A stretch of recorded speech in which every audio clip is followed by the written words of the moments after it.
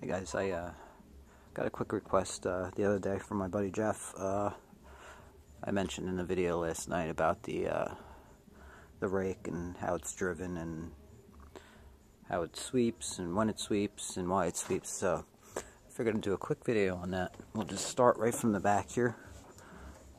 Uh, it's a little dark over this gearbox, but that's your 4 to 1 assembly right in there. That crank arm can't really see the sweep links in the way, is bolted to the the main shaft that comes out of the 4 to 1. You can see the position it's in now as the machine's at zero. Um, basically, the 4 to 1 turns four complete turns every cycle, the 2 to 1 turns twice, and the 1 to 1 turns once. Um, the rake cam itself, which is right here, will turn once that controls the pattern of the sweep, how it raises and dips and all that. Um, but basically, got your crank arm here. This long rod here goes all the way up to the front. That's the rake sweep sweep link. That attaches right here and right on top where it attaches. That's the block I was talking about last night. Now out in front here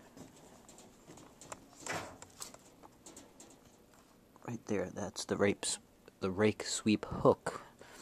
It's up right now. That raises and lowers. That controls when the rake sweeps, which is controlled by this rod here. Which runs down into the detector. So that raises and lowers it. Um, the rake only sweeps for 90 degrees of the cycle. Uh, the the hook will engage that block at uh, 135 degrees. And from 135 degrees it'll sweep back and forward which is 90 degrees of the cycle and release at 225 degrees. Um, aside from all the other components that's the basic gist of it. Turn this on get a couple of cycles for you guys. You'll see when you when it turns on the, the hook will raise once it starts cycling Get in a little closer for you. There's the hook right there. You'll see it'll raise up out of the way and then drop back down. And you'll hear a click when it engages. That's 135 degrees. And then when it releases, it's 225 degrees. So you'll see the hook will raise up here. So the block misses it. Now it'll drop. That's 135 degrees and 225 right there. As you can see, that block just keeps going back and forth. It's going to do that four times per cycle, since it's part of the 4 to 1 assembly. And uh, your rake cam here only turns once. That just controls the sweep pattern. So I'll try to get a little light on that for you, just so you can see how that rake cam follower follows it. I'll get a little closer, it'd be nice. So it falls off that high edge and lowers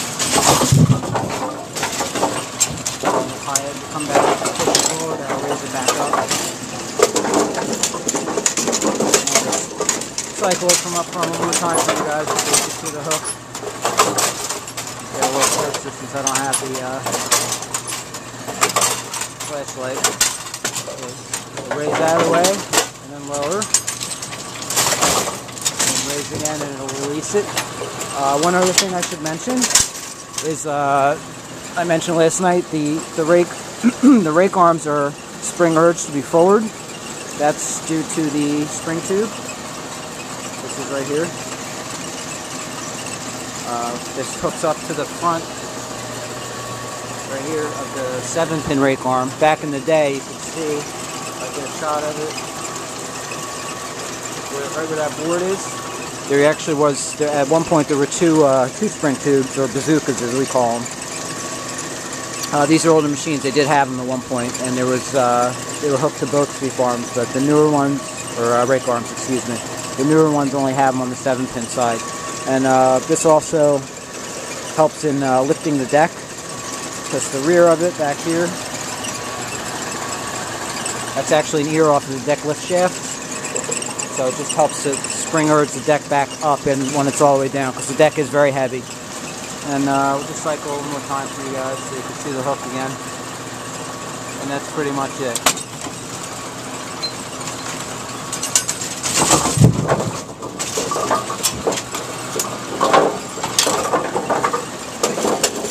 Hopefully uh, that answers some of your questions. Uh, guess I can show you too if I do come up front here. You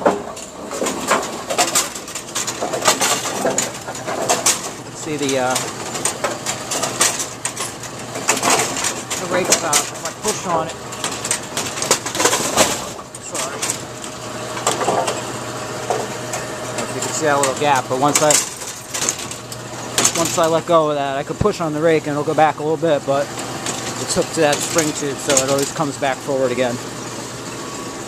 So uh, hopefully that answers your questions. Uh, I got a request today, so hopefully uh, I can get that done at some point soon about the scoring. And uh, hopefully I answered your questions. Thank you all again for everything. If there's anything else you want to see, just let me know. Okay, bye-bye.